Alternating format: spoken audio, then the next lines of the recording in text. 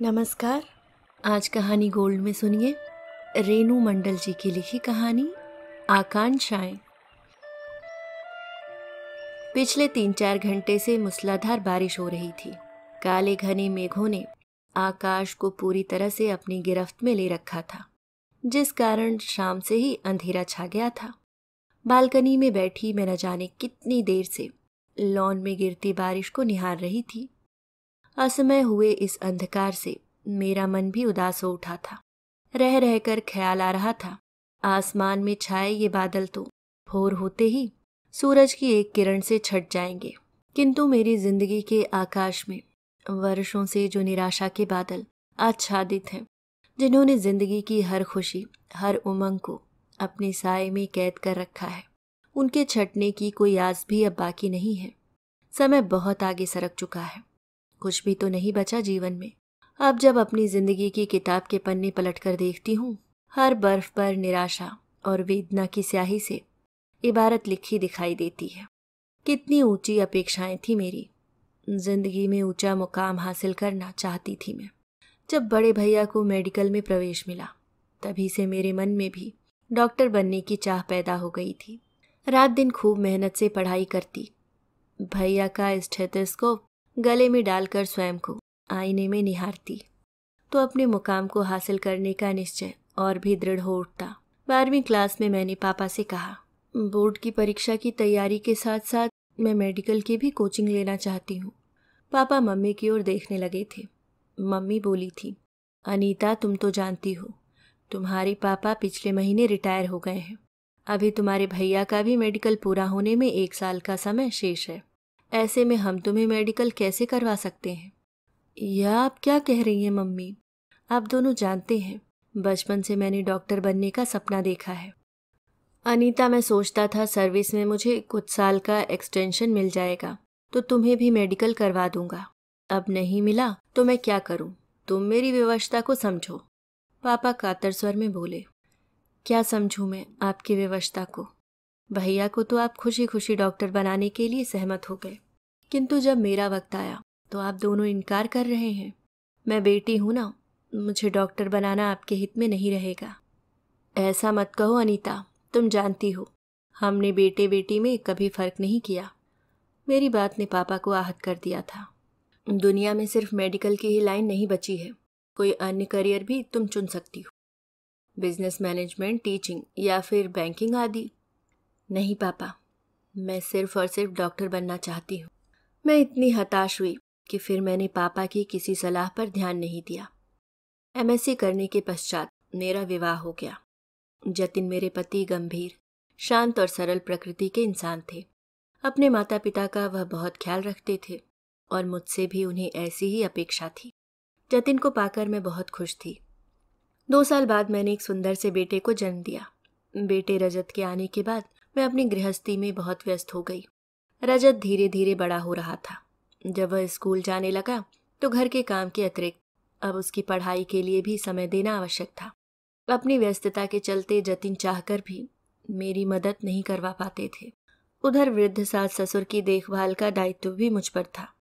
कहने को तो समीप के शहर में मेरे देवर देवरानी भी रहते थे, किंतु वे दोनों भूले से भी कभी माँ पिताजी को अपने साथ चलने को नहीं कहते थे। यदा कदा एक दो दिनों के लिए उनसे मिलने आते और इसी में अपने कर्तव्य की इतिश्री समझ लेते थे। तिस पर भी माँ पिताजी हर आने जाने वाले से उन्हीं के गुणगान करते। मैं मन ही मन कुटती जतिन से शिकायत करती तो वो मुझे ही समझाने लगते। अक्सर माँ बाप दूर रहने वाले बच्चों के मुँह में पड़कर पास रहने वाले बच्चों को अनदेखा कर जाते हैं। किंतु इसका यह अर्थ नहीं कि वह हमसे प्यार नहीं करते हैं। वह हमारे बड़े हैं। उनकी बातों पर बुरा मानने के बजाय पूरे मन से उनकी सेवा करो। मैं मन महसूस कर खामोश रह जाती। अपना पूरा ध्यान मैंने रजत की पढ़ाई पर केंद्रित कर दिया था। मेरी अधूरी महत्वाकांक्षाएँ अब सिर उठाने लगी थी। अक्सर मैं उसे समझाती कि खेल कूद पर ध्यान न देकर उसे पढ़ाई में मन लगाना चाहिए, क्योंकि उसे बड़े होकर डॉक्टर बनना है। कभी कभी जतिन मेरे इस जुनून पर खींच उठते और कहते अनीता अपनी आकांक्षाओं को बच्चे पर मत थोपो। उसकी नींव मज़बूत करो। उसे अपनी राह स्वयं चुनने दो। किंतु जतिन की बातों का मुझ पर कोई असर नहीं पड़ता था। किसी भी तरह मैं अपनी आँखों के सपने को उसकी आँखों में बसा देखना चाहती थी। अपनी प्रखर बुद्धि और परिश्रम के बलबूते एक दिन रजत मेरे स्वप्न को साकार करेगा, इसमें मुझे तनिक भी संदेह नहीं था। शांत सागर सा मेरा जीवन एक निश्चित दिशा की ओर बह रहा था। कि एकाएक उसमें दुखों का सैलाब उमड़ पड़ा। मेरी खुशियों के एक एक कतरे को, वेदनाओं की प्रचंड लहरें अपने साथ बहा ले गई और मैं प्रस्तर, प्रतिमा सी अपने साथ हुए, नियति के इस क्रूर मज़ाक को देखती रह गई। एक दिन जतिन ऑफ़िस से लौट रहे थे कि अचानक उनकी कार का एक्सीडेंट हो गया। हॉस्पिटल भी नहीं पहुँच पाए वह, रास्ते में ही दम तोड़ दिया। मेरी तो मानो दुनिया ही उजड़ गई थी टूट कर बिखर गई थी मैं। जतिन के बिना जीने का एहसास ही मेरी रूह कपकपा देता था।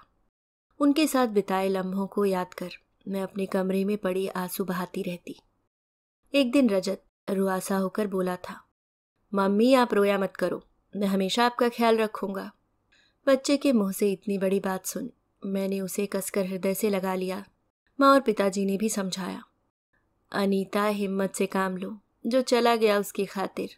अपने बच्चे को अनदेखा मत करो। इस मासूम का अब तुम्हारे सिवाय है ही कौन? उनकी बात से मेरा विवेक जाग उठा।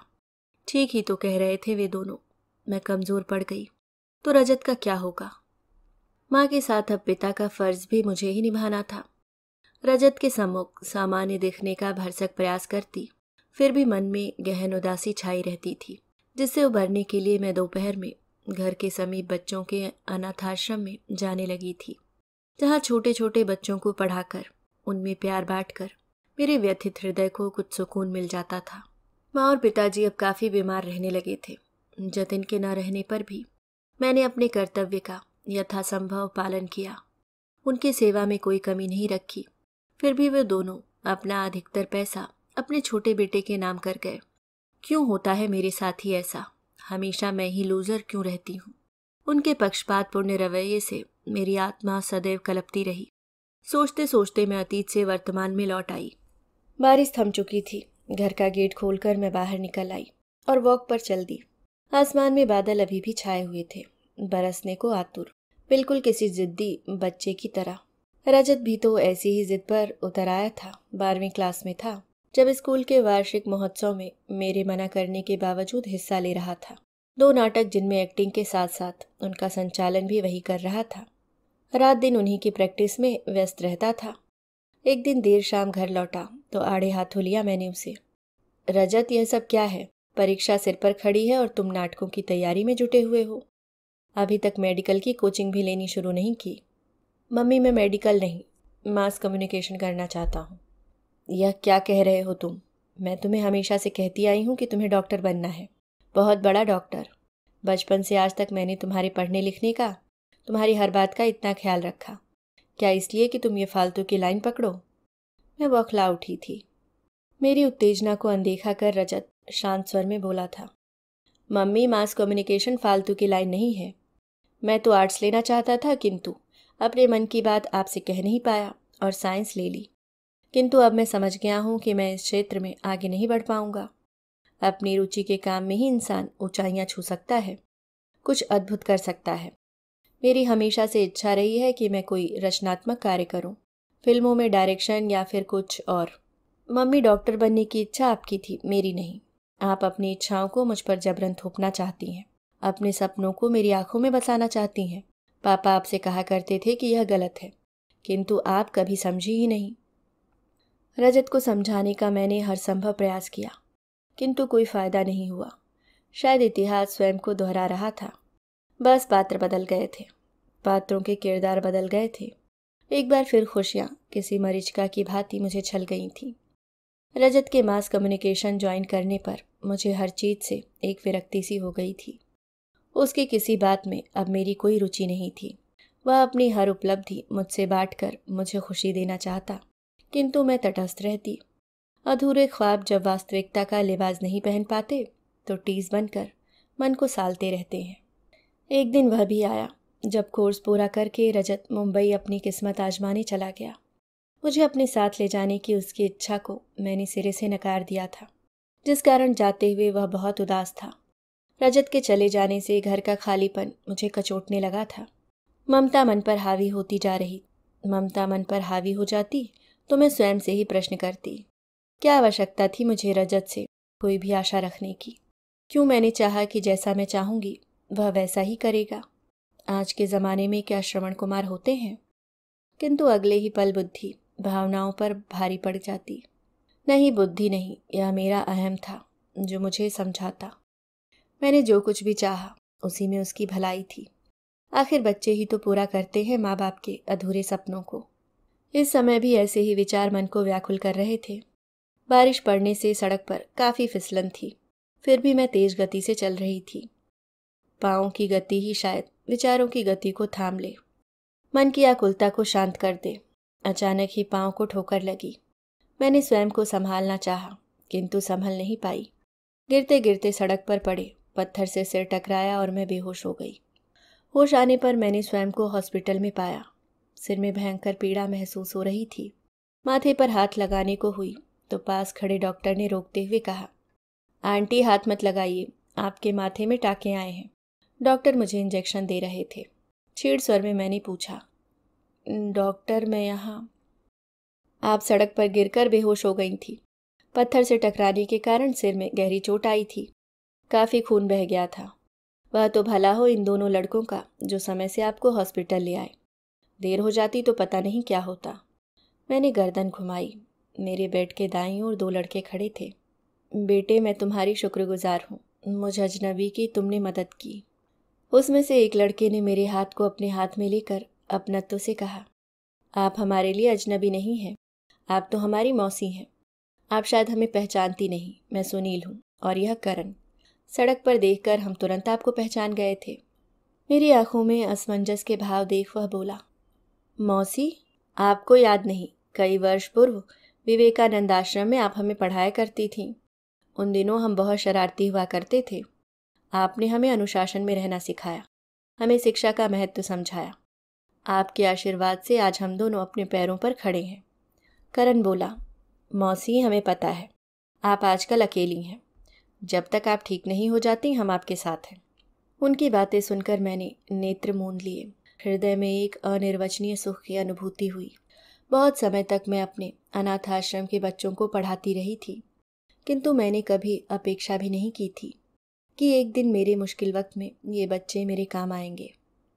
मेरी आँखों से अविरल आँसू बहने लगे। आज मुझे समझ में आ रहा था कि जीवन में निस्वार्थ भाव से किए गए अच्छे कर्म कभी व्यर्थ नहीं जाते और किसी भी प्रकार से फलीभूत अवश्य होते हैं। वर्षों से मैं गीता पढ़ रही थी, किंतु यह मेरी दिनचर्या मात्र थी। उसकी गहराई में मैं कभी उतर नहीं पाई थी। उसके सार को कभी आत्मसात नहीं कर पाई थी।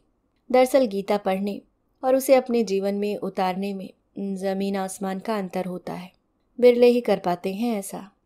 उम्र एक एक सीढ़ी चढ़ आगे बढ़ती रही और मैं उसके हर पड़ाव पर अपनी महत्वाकांक्षाओं की पूर्ति की आस सजोए खड़ी रही। और जब नाकामियाँ हाथ लगीं तो जीवन की उन ठोकरों से कभी कुछ सीख नहीं पाई। किंतु आज आज शरीर पर लगी एक मामूली सी चोट ने ही मेरे अंतर मन में ज्ञान की रोशनी पैदा कर दी। आज इतने वर्षों बाद मुझे समझ में आ रहा था कि मैंने अपनी महत्वाकांक्षाओं के आकाश को सीमा से अधिक विस्तार दे दिया था। जिन परिस्थितियों को मैं अपनी पीड़ा का आधार मान बैठी थी, उनमें दुख करने जैसा कुछ था ही नहीं। अपने माँ बाप की व्यवस्था को समझ में अपने जीवन को नए आयाम दे सकती थी और प्रसन्न रह सकती थी। व्यर्थ अपने सास ससुर के व्यवहार को याद कर अपने मन को दुखी करती रही। निराशा की गठरी को सिर पर ला दे। अंधकार में भटकती रही। क्या हासिल कर पाई इससे? उस पल मेरी नज़रों में रजत का चेहरा कौंध रहा था और मुझे समझ में आ रहा था कि हर इंसान का अपना अलग अलग व्यक्तित्व होता है। इच्छाएँ अलग होती हैं, उसके सपने अलग होते हैं। जीवन का उद्देश्य अच्छा इंसान बनकर कामयाबी हासिल करना है। कामयाबी जिसमें खुशियाँ निहित हों। मेरा बेटा इतना अच्छा इंसान है, मेरे प्रति इतना संवेदनशील, मात्र इस वजह से कि उसने मेरी अपेक्षा अनुसार अपने जीवन की राह नहीं चुनी। मैंने उसे सहारा नहीं दिया और स्वयं भी तो पुत्र सुख से वंचित रही।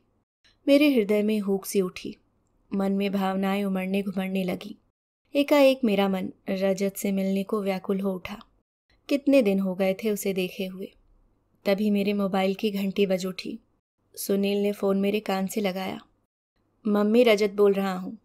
आज सुबह से ही आपकी बहुत याद आ रही थी। मैं कल आपको अपने साथ ले जाने आ रहा हूँ। जानती हो माँ, मुझे आपकी कितनी चिंता लगी रहती है। अपना काम भी ठीक से नहीं कर पाता हूँ। भावुकता के क्षणों में सदैव उसके मुख से मम्मी के बदले माँ निकलता था। आनंदा तिरेक में मेरी आँखें बरस पड़ी। व्याकुल हृदय में अलौकिक सुख की प्रतीति हो रही थी। मैं चलूँगी मेरे बच्चे। रुंधे कंठ से मेरे मुख से निकला। रात्रि का अंधकार दूर होने में अभी विलंब था। किंतु मन का अंधकार मिट चुका था। जीवन का क्षितिज सूर्य की रश्मियों से आलोकित हो उठा था। अभी आप सुन रहे थे रेणु मंडल जी की लिखी कहानी आकांक्षाएँ।